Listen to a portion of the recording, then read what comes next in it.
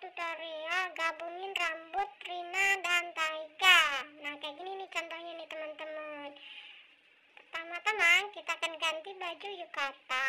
Yang cowoknya juga yukata ya teman-teman. Lalu kita masuk. Teng setelah itu kita samparin dulu nih Taiganya. Halo Taiga. Nah kita ganti karakter si Taiga.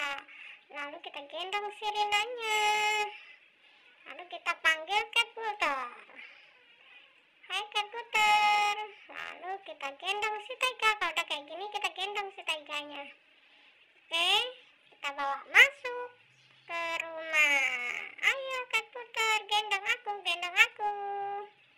Tung tudung tudung tudung tudung tudung tudung tudung tudung tudung masuk ke kamar ganti bajunya.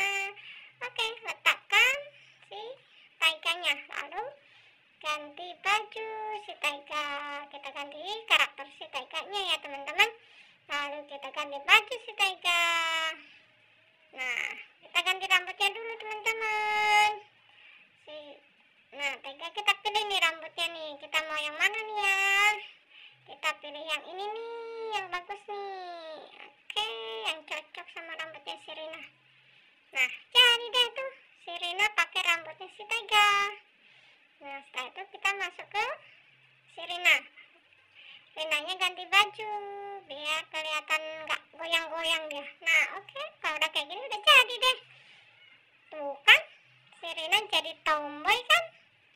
Wah ganteng ya teman-teman.